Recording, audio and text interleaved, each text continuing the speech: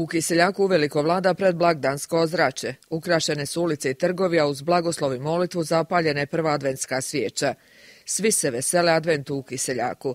Posebno je to vrijeme u godini u kojemu radosti Hrvati katolici dočekuju Božić, najradosniji blagdan. Ove godine Advent u Kiseljaku donosi adventsku priču, klizalište za najmlađe, zanimljiv kulturno-zabavni program, bogatu gastroponudu. Ove godine imamo osam aktivnih večeri, dakle osam večeri sa živom glazbom. Imamo i 15 dana, uključujući vikende i radne dane, kada je klizalište otvoreno, besplatno za svu djecu, za sve mališane. E, dakle, i ove godine je jedan ugodan ambijent, kako za slikanje, za šetnju, e, dobra gastroponuda, odlična glazba, prostori zagrijani, tako da evo sve što nam nedostaje su posjetitelji i jedna dobra i pozitivna atmosfera. Sve projekte koje radimo trudimo se da budu prelijepi, da ljudi uživaju u njima jer je to i cilj onoga što radimo. Ja se nadam, ove godine smo stvarno se trudili da ovo bude najljepši advent do sada i evo Nadam se da će ovo biti najljepši mjesec za sve naše sugrađane i da će uživati ovaj, na trgu i u ovome što smo pripremili za njih.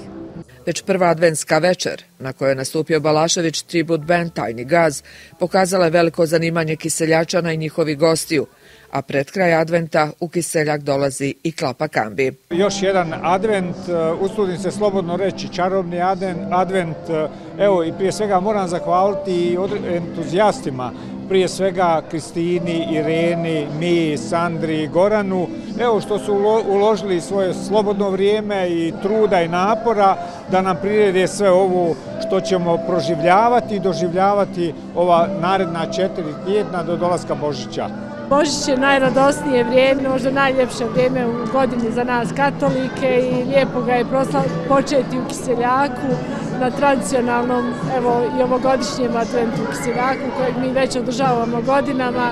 Čestitka svim organizatorima, prije svega udruzi Mladi KIS i načelnik općine, svima onima koji su pomogli da ovaj ovogodišnji advent u Kiseljaku opet nadmaši prošlogodišnji. Nadam se da će građani Kiseljaka i naši dragi gosti uživati u ovim prekrasnim danima u zajedništvu, u ljubavi, u prekrasnim trenucima. Petak, subota, nedjelja uz raznovrstan program i različite delicije sve do badnjaka, organizatori pozivaju na zajedničko pred blagdansko druženje, dok mališani 15 dana svaki dan mogu uživati u klizanju.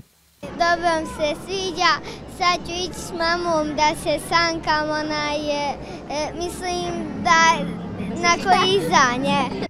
Kiseljak će i ove godine imati organizirani doček nove godine na otvoreno. Zabavljaće i domaći Apokalipso band i tamburaši iz Sarajeva. Kažu glazba za sve uzraste i ukuse.